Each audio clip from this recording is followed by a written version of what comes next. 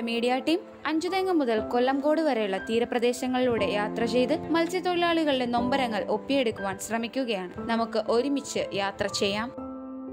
ഇപ്പോൾ ഭവനമില്ലാതെ ഞാൻ കിടന്ന് വേദനിക്കുന്നു. എന്റെ മോനും കിടക്കിടയില്ല എനിക്ക് ഇല്ല. ഇപ്പം മോളുടെ അച്ഛന് അസുഖം ശ്വാസമുട്ടും ഷുഗർ പ്രഷർ ഇതെല്ലാം ഒക്കെ ഉള്ള ആൾ കൊളസ്ട്രോൾ ഇതെല്ലാം ഉള്ളത് കൊണ്ട് ആളെ ആശുപത്രിയിൽ നിന്ന് ഇവിടെ കൊണ്ടുവന്ന ഉടൻ തന്നെ കൊണ്ട് ഓടേണ്ടി നിൽക്കി ഇവിടുത്തെ പൊടിയും ഇതിയൊക്കെ അലർജി ആയിട്ട് അസുഖം കൂടുന്നതല്ലാതെ കുറയുന്നില്ല.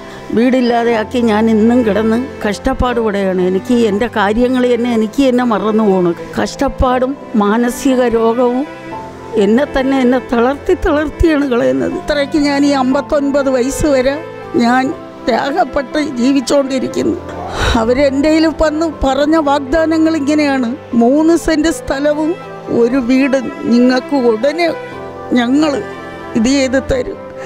ഗവൺമെന്റിനെ കൊണ്ട് എനിക്ക് ഒരു സഹായമോ ഇല്ല.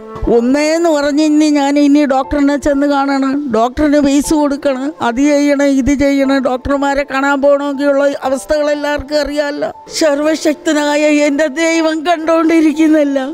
എന്റെ ഈ വേവലാതി വേദനയല്ല.